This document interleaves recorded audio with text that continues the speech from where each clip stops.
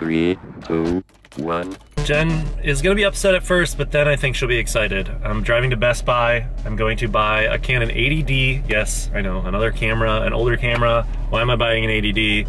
Well, I'll show you in this video.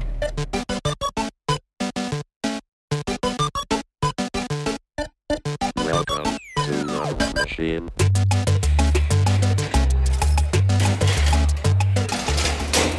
Else in the store you want to look at? Uh, no, that's it for today. Can you give me a sec? Look what I got. Are you excited? Are you mad? Yeah? To which one?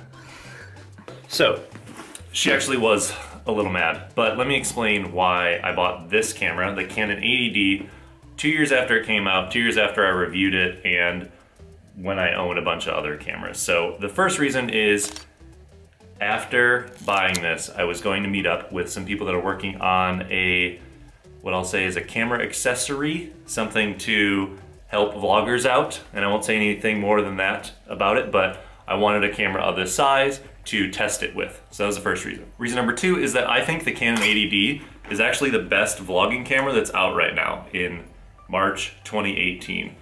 For a lot of reasons, mainly because external audio, great face tracking autofocus, lightweight lenses and build, has some slow motion kind of with 60p, has time lapse. So it has all these features that are perfect for vlogging. And so that's the main reason that I got this camera. Reason number three is that I get way too precious with my camera gear.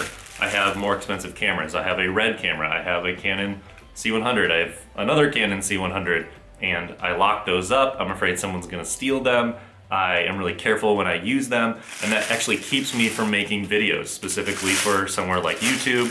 It keeps me from putting videos out, from hitting record, from having just the camera ready to go with memory cards and batteries in it, so I can put more stuff out for you guys. That kind of perfectionism actually keeps me from publishing. So I don't know what keeps you from publishing, but I'd love to hear in the comments below this video you know, what keeps you from hitting record or getting more videos out on somewhere like YouTube. The fourth reason is I already have a lot of Canon stuff. I have a bunch of EFS lenses that are perfect for something like a crop sensor Canon 80D, like this 10 to 18, which is super wide and awesome.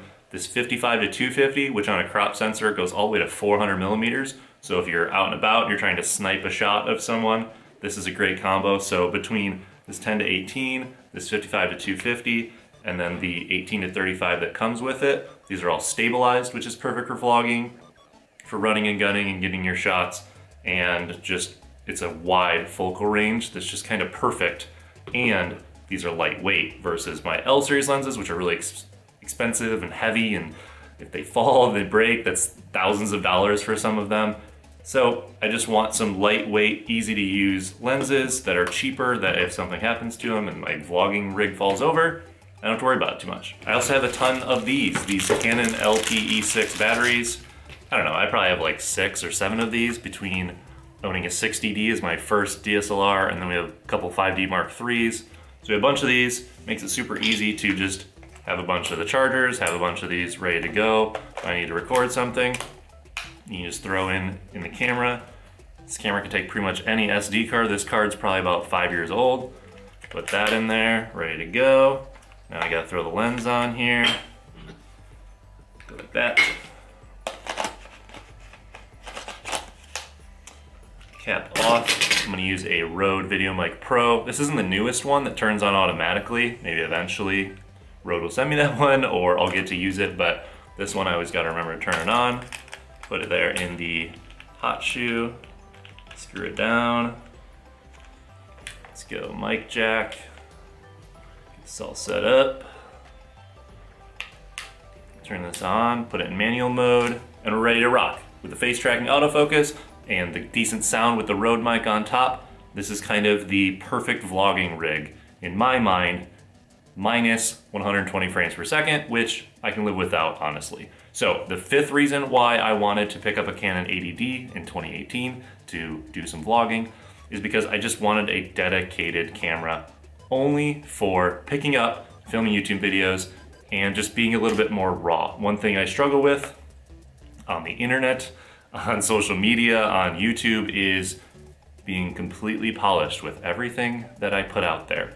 Everything has to be perfectly lit, perfectly framed, perfectly in focus, perfectly perfect. And this is something I'm trying to do better at and to be okay with something that's a little less polished to get more stuff out there that can help more people. It's something that's been holding me back. So my first world YouTuber problem is I now have a camera specifically for that, and I have cameras specifically for my client work that I do that people pay thousands of dollars for, and that's okay because they need it to be in 4K. They need it to be higher quality visual, visually, and I'm okay with that. But for my stuff, I can just focus on the content, the things that I'm sharing with you, the things I'm trying to teach you how to do with your cameras, and go from there. So even when all my cameras are packed for a shoot and it's the night before I fly somewhere, like I'm going to New York City in a couple days, this camera will still be there ready for me to be able to film something and put more out. So hopefully you will see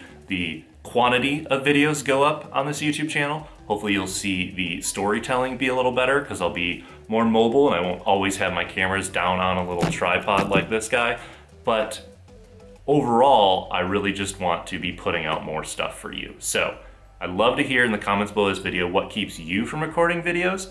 I kind of want to make a video that's just all the different little things that keep me from pressing record on a video, like shaving my head or being dressed. I mean, I am usually wearing clothes, you know what I mean?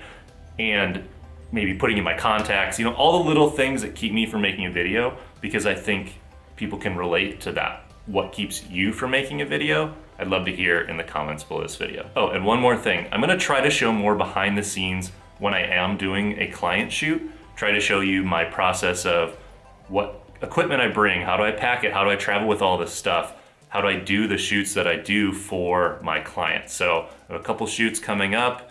Like I said, this one in New York City, one up in LA soon.